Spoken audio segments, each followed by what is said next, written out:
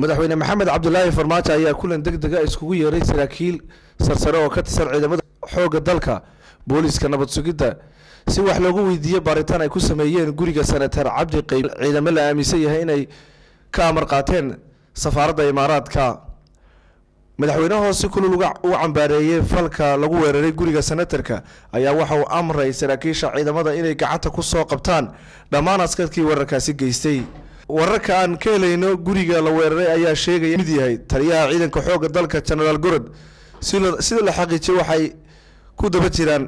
askartii ku lugta lahayd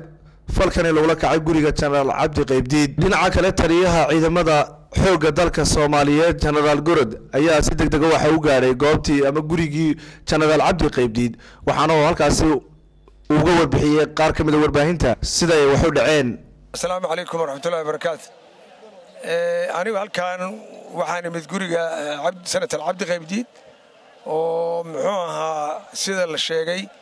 ay ciidamo soo galeen hubaysan halkaasoo ay guriga khasaaro weyn u geysteen oo aad iyo aad u ballaaran. Waxaanan rabnaa saas halkaan u imid waxa weeye inaan ogaanno yaa ka dambeeyey. Waa ka xunnahay inay dhacdo arrintaani arrin oo maaragtay la filahaye ma ahayn laakiin waxaan qabnaa dadka geystay ama ciidanka sida tan ciddii soo amartay inay muxuu ahaa ujeeddo ka lahaayeen. Oo xataa haddii muxuu ahaa ay wax jiraan si ka fiican sidaana loo wajihi karay. Arrintaas waa la soo qabanayaa waa ka daba tegaynaa waana ogaanaynaa waana ka xunnahay in arrintu sideedaba inay saas waxaanoo kale iyo wax lamida inay dhacaan. Marka arrintaas waa saas inaad rabaan inaad u ogaataan waxaan filaynay ma ahan dowladdoo dhan baa ka xun madaxdoo dhan baa ka xun qof kastoo soomaaliya ka xun waa dhacdo foolxun wey marka arrintaas